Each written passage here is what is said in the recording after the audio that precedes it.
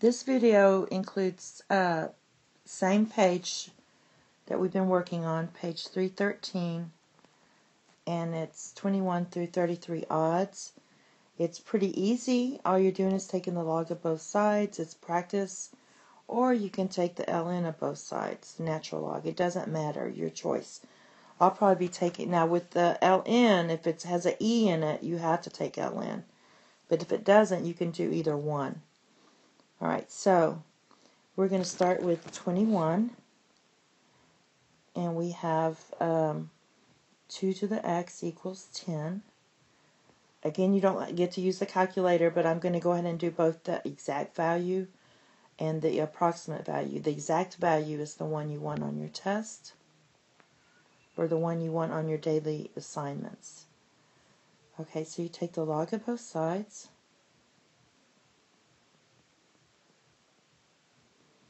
The only reason we're doing this is so because we're trying to solve for x and it's it's as a power right now. So we're going to use our power property and bring it out front.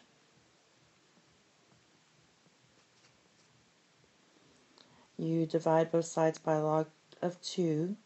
What base is this? If there's no base here, it's base what? 10. Don't forget it's that, it's base 10. So basically we get uh, x equals log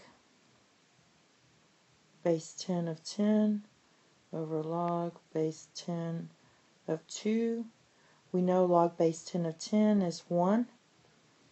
So it's 1 over log base, uh, or just 2. You don't have to put 10 if it's base 10.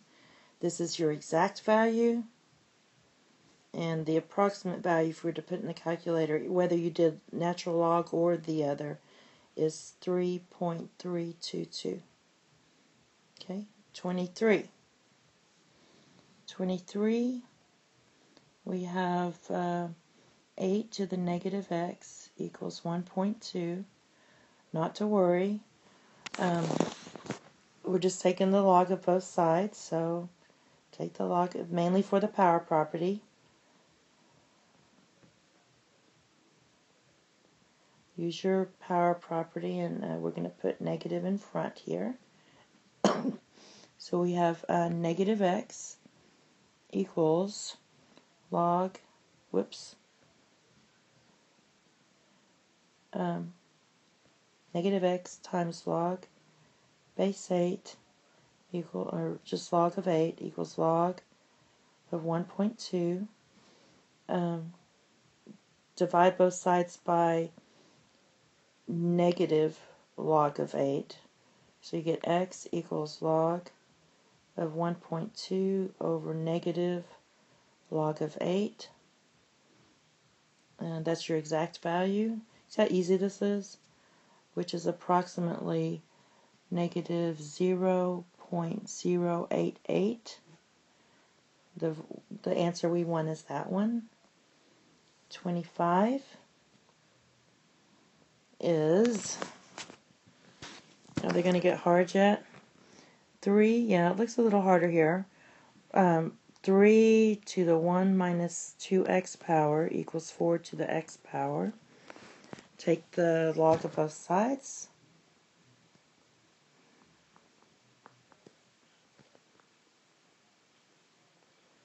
In this case, we're going to um, use the power property on both.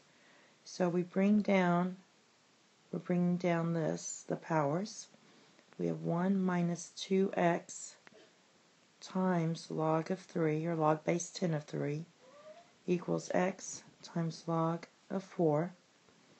Now let's go ahead and distribute here. So we get log of 3 minus 2x log of 3 equals x log of 4. Now, I'm going to go ahead and solve for x. So I'm going to move my x's together.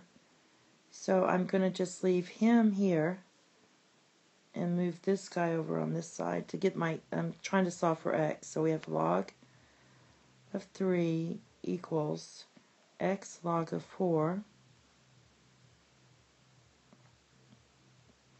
plus 2x log of 3. Factor out the x. Using your highest common factor. It's the way the IB likes to call it. So you have log of 4 plus 2 log of 3. And now all we're doing is dividing both sides by this. So we're dividing by log of 4 plus 2 log of 3. That will cancel.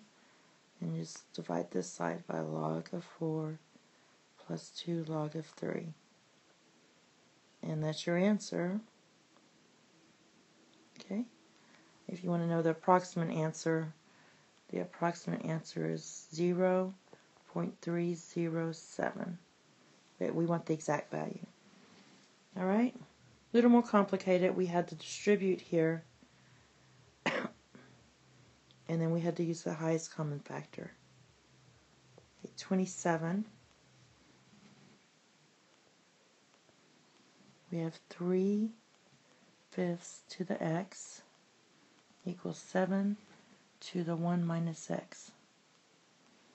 Okay, so what I'm going to do is um, use my power property or take the log of both sides. Let me try to write a little smaller here. So we have log of the 3 fifths to the x equals log of 7 to the 1 minus x. Use your power property.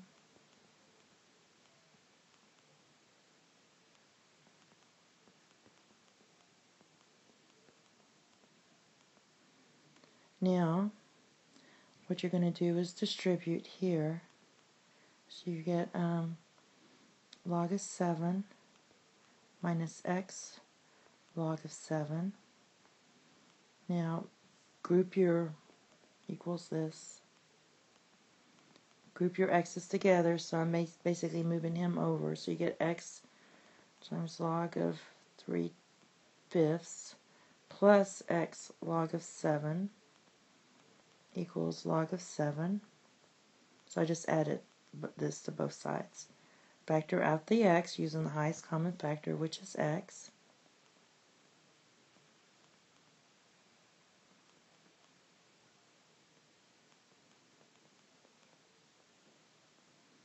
And then divide both sides by divide by both sides by that. So you get x equals log of 7 over all of that log of 3 fifths plus log of 7.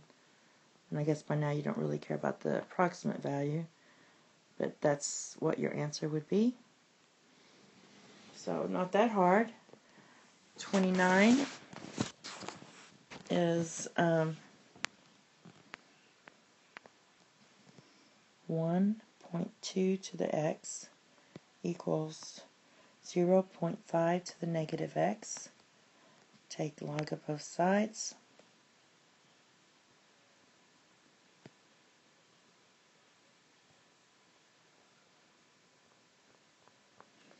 Okay, and use your power property.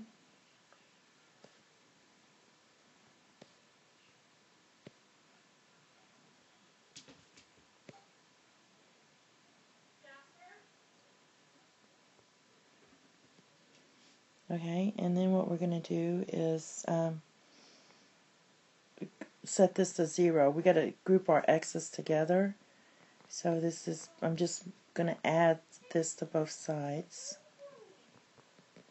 So we get x log of 1.2 plus x log of 0.5 and equals 0 and I'm going to pull out the X.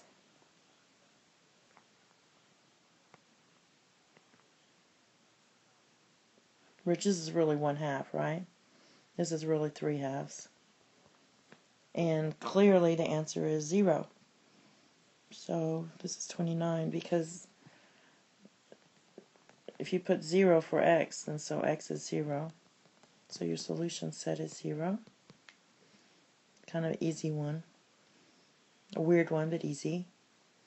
31 looks really strange. Let's look at 31. We have pi to the 1 minus x. I want to do this one though because it has the e in it. If it has an e, you have to take ln of both sides. So we're going to take the ln of both sides.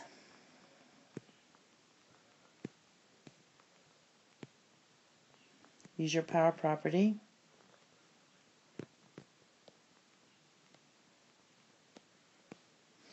The idea behind um, this logs that we're doing is you want to make sure that you do enough of these so you're not scared of them. These are not that hard. So you just want to do a lot of these until you get over the fear of just logs and the way they look. Um, what are we doing? We're doing 31. So basically, I'm going to distribute here ln of 1, ln of pi, excuse me, minus x ln of pi equals x. And why did I not write this? What does this equal, guys? Yes, this equals 1. So now I'm just going to group my x's together. So I have ln of pi equals x plus x ln of pi.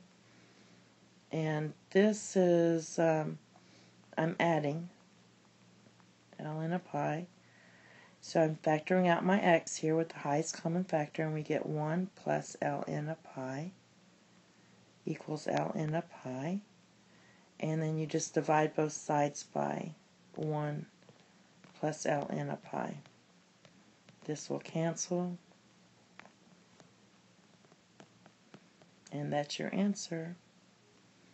Okay, and I think we have one more, 33. Okay, 33 is a little different. 33 is 5 to the 2 um, times 2 to the 3x equals 8. Now before we take the ln of both sides, what we want to do is divide both sides by 5. Because we want this as clean as possible. So then at this stage, this will cancel. So now take the, um, you take log or ln, I'm going to do log log, because there's no x, uh, e's in here. Okay, use your power property, and we get 3x log of 2, and I shouldn't have done L in here, I should have done what? Log. Sorry. Um, equals log of 8 over 5 now we're going to solve for x. So basically we're dividing by 3. We're dividing each side by 3 times log of 2.